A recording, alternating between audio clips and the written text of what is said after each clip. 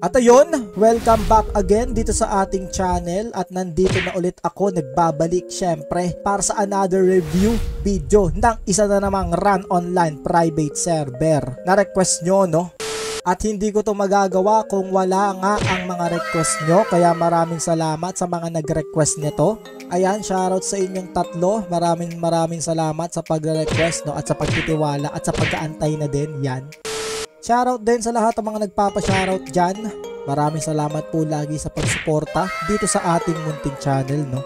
So, welcome dito sa Silpid Run Episode 9. Yan, sana tama yung banggit natin, no? Approved! 2.11 gig ang kanilang installer. Nagpa-beta test sila nung July 18 hanggang July 22 at nag-official up naman nung July 23, 5pm. At kung mapapansin nyo sa kanilang download link ay meron silang tatlong uri ng language, no? English, Thailand at Taiwanese. So if you enter this game and if you are Taiwanese or Thailander, there is a download link waiting for you, no?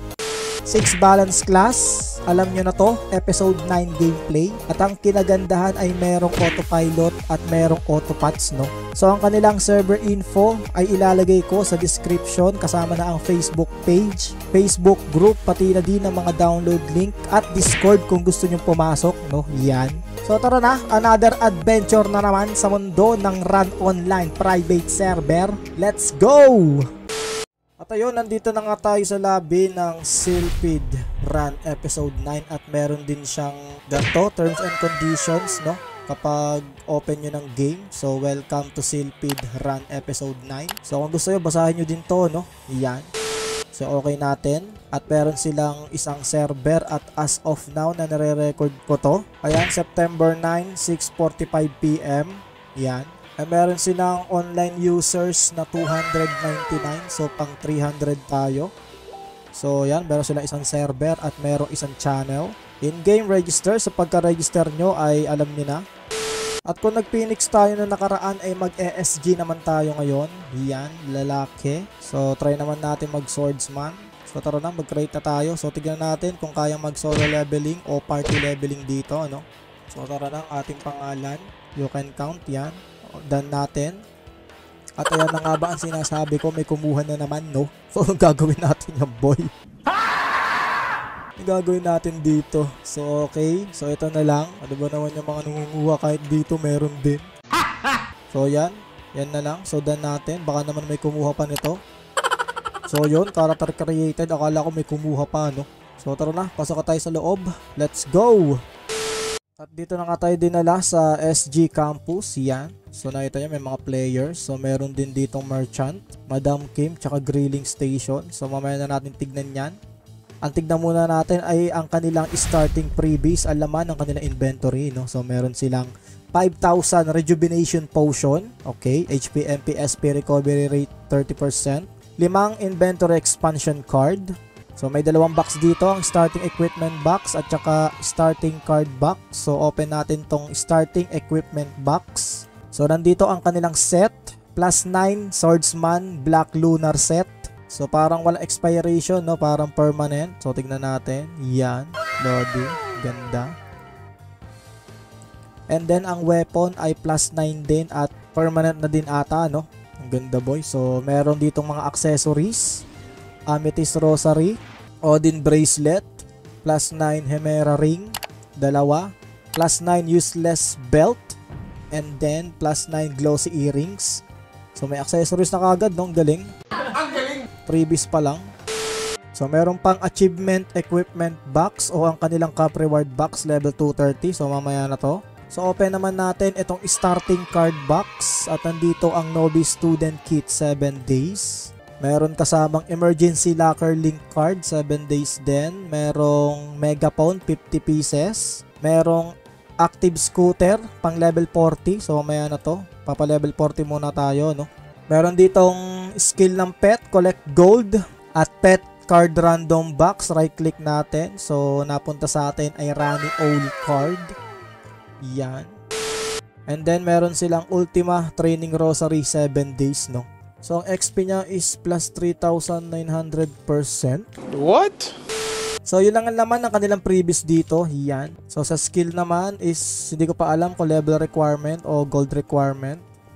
So, tignan naman muna natin ang kanilang item combination which is the crafting. So, ito, ang mga nakakraft dito. Ganel Piece, Bale Piece, mga Fine, Beidou Crystal, Luxury, Fine Red Essence, Luxury Red Essence, Legendary Golden Stone Ring, Iron Bracelet, Repulsive Necklace, okay. Desolate Hat, meron dito. Sweet Egg Soup, ano to? May, may mga dumpling, mga chicken burger. Premium lunchbox meron dito. Alright. Alright. Legendary Hatred Belt meron din. The King Card. Ayan, tignan nyo na lang. So hanggang dito lang. Okay. Ito naman ang kanilang item mall. So tignan natin sa headgear costumes. Wala. Set costumes. Ito meron. Eternal Divine Costume Box. 30 days. Okay. So P-point 400 no. Ayan. P-point. Premium point no. And then weapon costumes. Meron din. 600 P-point naman to. Belt costumes meron din, 250 P-point, yan. Pets, so andito ang skill ng mga pet. 500, yan. 500 GT point. Ayan, kayang-kayang ipunin, no? Kasi GT point eh, no? So, advanced pet pig, meron din. At meron ding P-point, no? Vehicles, wala. Cards, meron. Ayan, GT point. Yung iba, P-point. Ito, ayan. Item boxes, triple seal card. Ayan, meron dito. 400 P-point. So, meron ding 25 P-point, 50 pieces, no? So, dito sa enhancement, merong safeguard rosary, GT point, at saka P-point, no? Finest coating oil. Ayan. Miscellaneous, wala. Promo items, wala. So, yun lang. So, merong campus transcript o AP activity, no? Kahit episode 9. Yan. Siyempre, huwag kalimutan. So, tara siguro magpa-level ano muna tayo, boy. Pa-level 7. Ano to? Meron kagad tayong ano? Ano tong crush? Parang bago to, boy. Oh. Akala ko light armor. So, tingnan nga natin tong crush. Ano to? Attack. Ah, yung Madness Blow. And then Sun Gale. Okay. Akala ko kung anong crush to. Tanga. So, pa level 7 muna tayo. Tingnan natin kung may ano. Autopilot. So, F5 natin. Yun, may autopilot sila dito. Yan. Ayos boy. F6. Autopots meron din. And then F7 wala. F8 wala. F9. So F9 nila is character set are now simplified no. F10 hide skill effects. F11, F12 so wala na. So ang kinagandaan is meron sila ditong ano no. Autopots at saka auto skill. So okay, maganda yun para sa pagpa-farm. Yan. So level 8 na tayo. Tingnan na natin ang kanilang ano dito. So magdagdag muna tayo. Syempre alam na magde-dex tayo no. Ang walang katapusan dex type. Tanga. So magdagdag tayo sa dex. Tingnan natin shortcut kung gumagana. Dex 45. Yung gumana naman. Okay, so ganun yung shortcut. So yun, level requirement no. Level requirement na mga boys. Hindi na kailangan ng gold. Hindi na rin kailangan dito ng spear. So meron dito mga bago to charge stuns level 20. So yon, tara muna sa market siguro no. Tara muna, tignan natin ang kanilang mga NPC. At nandito na nga tayo sa kanilang market. So tignan natin. So yan. Mukhang kukunti ang mga nakabend dito. Siguro nasa kanya-kanyang campus no. So tignan muna natin dito kay college representative kung ano meron boy. So okay, meron ditong reform card, piso. Shit. Ah, seal card, piso din. Dual seal card, piso. So talaga, piso lang ang ano dito. Reform card, seal card, tsaka dual seal card. Fine grindstone. Ito, 100M. 250M tong finest grindstone. Finest coating oil. 250M, okay. So ito. So dispatch extra activity, alam nyo na yan. Contribution item. PvP instructor. PvP medal, okay. Eternal Divine Palinks. So, tignan naman natin yung NPC dito. So, ito. Meron ditong, ito muna tayo, Game Assistant, Trade Item. So, piso ang ano nila dito. Plus 11 Brawlers Fine Dragon. Piso lang boy. Kaso pang level 230, no? So, kailangan magpa-level 230 muna tayo. Oh, ba't na-disconnect? So, may internet naman tayo. Ah, nawala na internet. Kaya pala eh. Kala ko sa game. Ayun, meron na uli. Na parang ano lang, parang abno lang. Meanwhile. At ayun na nga, we're back online na boy. So yun nga, mga set dito is plus 11 piso lang. And then weapons, piso na rin, plus 11. Yan, galing. Accessories, piso na din. Ano to? Choice package box GP. So piso. So kailangan ba ng GP na ito? Ah, hindi na item purchase natin. So ano laman nun? Set costume choice box, belt costume choice box, weapon costume choice box, at saka vehicle choice box. Ah, kapag nag-create kayo dito, mapunta lang kayo dito kay Game Assistant, no? Nandito na ang last set. Hindi ko alam kung last set to. Hindi ko alam kung last set yan, pero yan, piso lang. Pero magpa-level muna kayo, no? Katulad ng gagawin natin. So, saan pa ba? Ano to? Hero Redeemer. Wala? Okay. Ah, ito, merchant. Tignan natin, boy. So, nandito ang mga normal na items na nabibili, no? Yung mga gamit in-game. Katulad ng Novice Student Kit, Locker Link Card, Inventory Expansion, mga lunchbox, mga power-up gift box, Ultima Trading Rosary meron din dito. So, sa pet, may mga skill na rin dito. 6.5M, mga pet food, mga dual pet skill card. Yan, okay. CRC. SRC pala. Tanga. Okay, disable board, okay. Madam Kim, grilling station. Ano to? Ah, sweet egg soup, 13M. So, ano to, crafting material, no? So, dito lang, nabibili lang. So, wala na? Eh, dito sa kabila kay Mr. Okay, may nakita ako dito. Ito, Mr. Okay.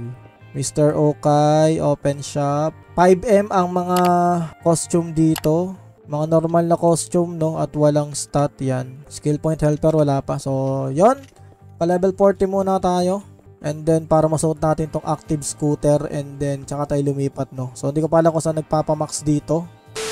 At ito boy, nagtanong ako para sure no. So sabi ko, saan po nagpapamax level dito? So sumagot agad si Lodi, Matumbaman, Prison, gang 260 na papi. So talaga. So tara tignan natin kung totoo yung sinasabi ni Lodi no. Baka naman niloloko lang tayo. pero joke lang, pero hindi naman siguro. So tara, dito tayo sa prison. Magang 230 na raw. So sige nga, tignan nga natin. May autopilot naman. Oo nga, at ang level ng mobs dito ay level 260. So mukhang hanggang max level na nga tayo dito. Go autopilot lang, no?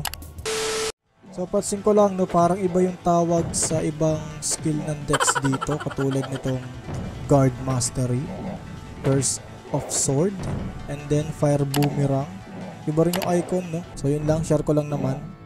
At ayun na nga, after ng ilang minuto, max level na tayo, level 260. So, walang bagal XP. 100%, isang mobs, no? So, yon So, ngayon, tara na sa campus. Tignan natin yung set na tagpipiso at saka yung weapon, no? Let's go! Buksan na muna natin itong kanilang achievement equipment box pan level 230 buksan natin. So, ang laman ay plus 10 Swordsman Vest of Thunderbolt. So, pa level 230, no? Kaya kapag nakapag level 230 kayo, is pwede nyo nang buksan yan. So, yan ang itsura boy. Ang ganda. Yun, no? Weapon, ganun din. Uh, permanent na rin ata to, no? Walang expiration. So, tama, permanent na din. Ang weapon is ganun din, no? Yan, dex type tayo. Yun, no? And then, meron na rin accessories. Ito, plus 10, Apollo ring, no? Yan, yung iba, plus 10, yung iba, walang ups.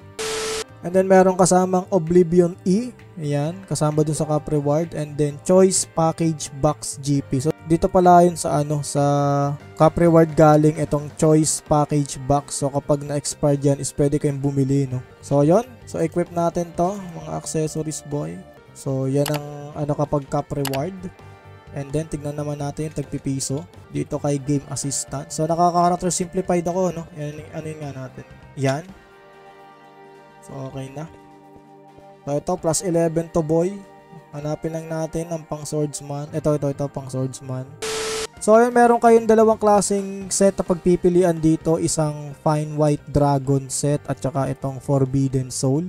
So, sa weapon naman, dalawang klase din. Isang Azure Sword and then Black Dragon.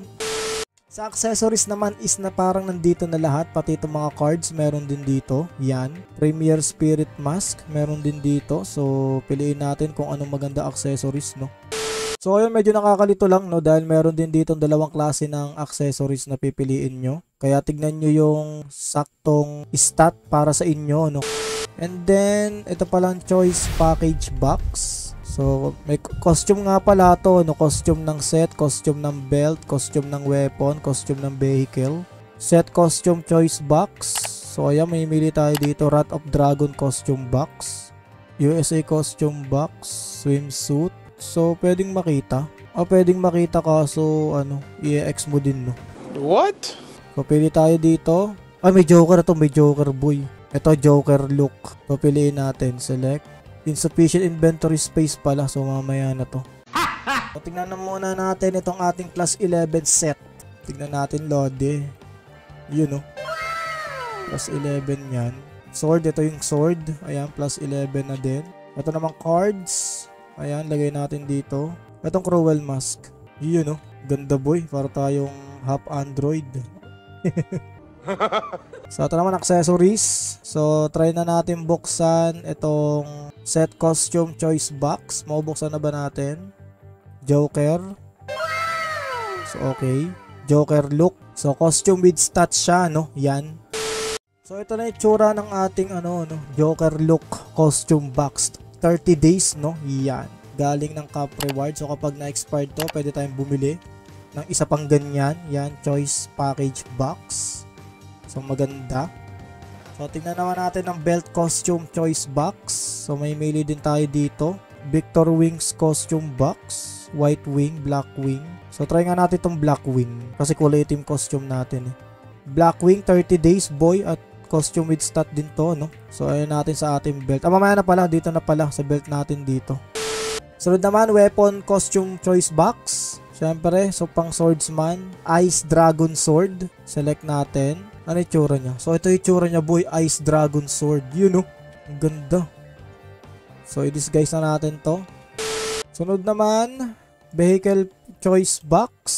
So, may dalawang vehicle dito. BMW S1000RR at saka BMW R1000RR. So, ito lang sa S1000RR, no? So, right-click natin. Yun. Sakto, boy. Ano to? I-disguise dito? O hindi? Eh, hindi na ata, no? Tanga. Ano yung tsura? Yun, no? Ganda, boy. Shit. Shit. Easy ride. Ang ganda. oh. Ah, ang ganda ng motor. So, wala na. So, yun lang. Kapag nakapag-max kayo, eh, magpunta lang kayo dito kay Game Assistant. Nandito lang sa campus. Sa bawat campus siguro meron yan, no? So, yun. And then, diretso bakbakan na agad, no? Ayusin lang natin ang combo natin, ang stat natin. At ayan, ang forma na ng karakter natin, boy. At may nagtanong uli, saan daw magpapamax level? Sabi ko, prison. Yan, help natin yan. Kasi yung iba hindi sumasagot na ibang player dito. At dahil tatlong lengguwahe tong server na to, eh, ayan, meron na mga nag english dito. Can you give me gold for potion and pots? Thank you bro, I'm girl, yan. so, testing kaya natin tong ating nagawang combo. Testingin natin, buffs muna tayo. Dami nating buffs boy. Yan. So, ano pala to? Akala ko buffs. Buff pambawas pala yun. Tanga. So tara testingin natin ang ating ano combo. So may combo to no. Gusto ko lang tignan. So 1 2 3. Yun.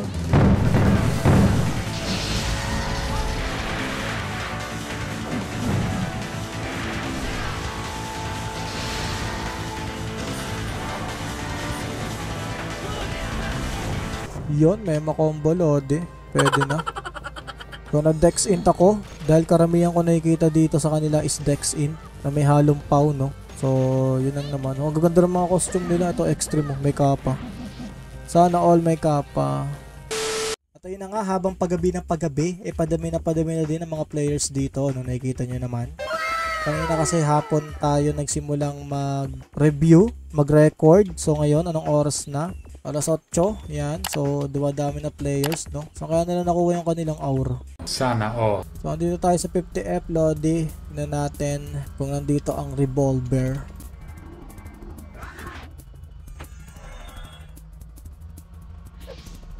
So, wala. Baka naman napatay na, no? So, 90F. Ayan, may mga naghahunt dito, boy. Baka dito naghahunt ng ano, no? Ayan, pera, tsaka mga, ano to, gamit. Meron dito. So, mukhang wala ng boss dito. Mukhang napatay na, ano? Wala na nga boy, napatay na nga ata. Ito red eye. Oh, masakit. Yun, super alloy na hand dito.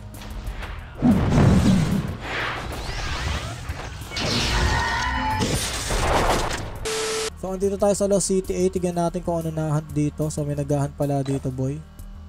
Mga Phoenix. So, wag tayo dito. Baka tayo makill, boy. Try natin dito. Ito, dito wala naghahunt. Pare ko, masakit toto. Testing natin. Okay naman ang bawas.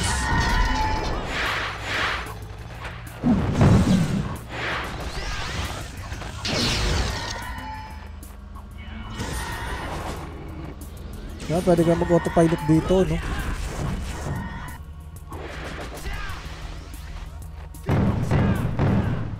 Meanwhile,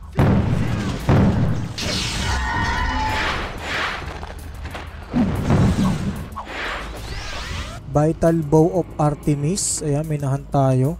Okay, so nahan dito is weapon tsaka gold, no? So, pwede tayong mag-ano dito, autopilot. Yan. Pwede natin iwan.